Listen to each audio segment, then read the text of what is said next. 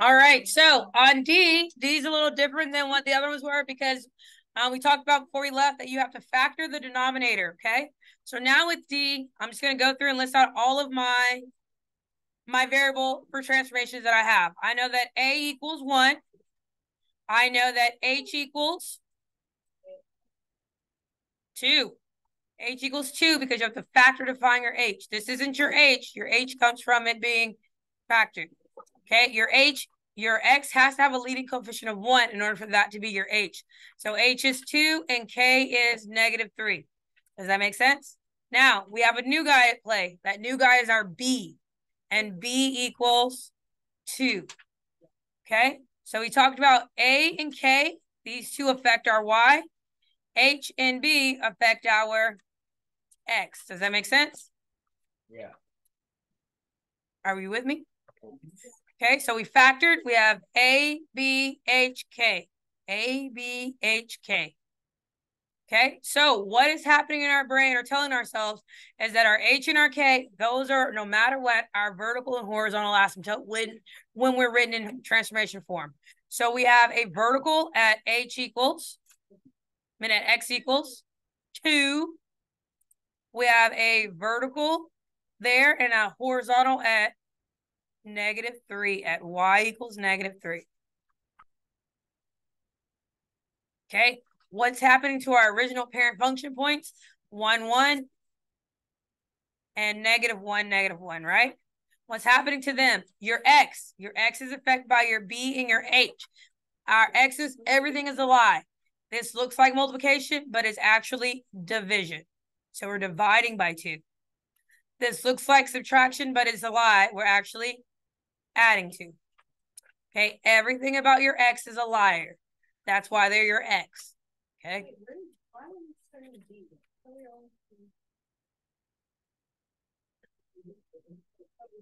Mm -hmm. You missed that whole spiel. Oh.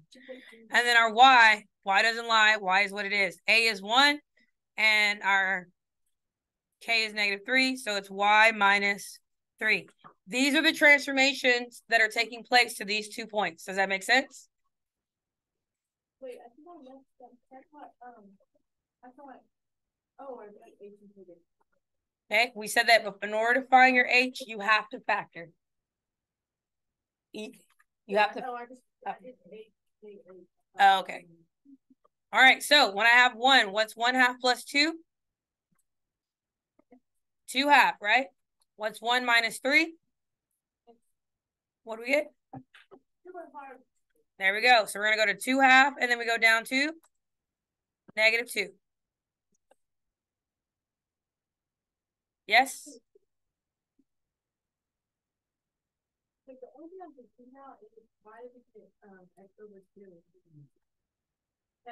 Because you have a B now. And in our notes, we said that, let me go back.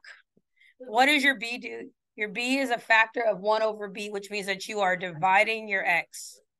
then, um, for B, B is the in factored form. So we, what were you doing when I explained all this? So right here, it says 2x minus 4. You have to factor it because you can't find your h unless the leading coefficient of your x is 1. So we factored out the 2 and we're left with x minus 2. So this is our b, and this is our h. Then we said that we now know a and k. a and k affect our y, and b and h affect our x. With our x's, everything is a lie. It looks like multiplication, but it's actually division. It looks like subtraction, but it's actually addition. They're your x for a reason. Just complicated for no reason, okay? No, actually, I have pretty decent exes. Except one hates me, but that's beside the point. That's another story. Is it the one that you? Why is this a therapy session? Why are we talking? Oh, I'm. I don't need therapy. Here we go.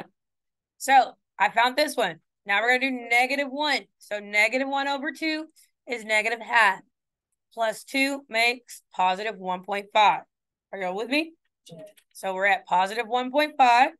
And then negative 1 minus 3 is negative 4. So this is going to be at positive one point five, negative four. So these are where my original points used to be. Now we're doing something like this. And something like this.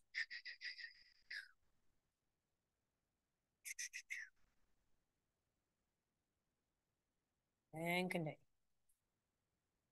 Okay, so D was to show you how B affects your points. Do we understand how B affects our transformation? Yes, everything is the opposite with X's. All right, so that concludes transformations. Guess what? These rules will never change. They apply to every single function. Your A, your B, your H, your K do not change. The rules stay the same, okay?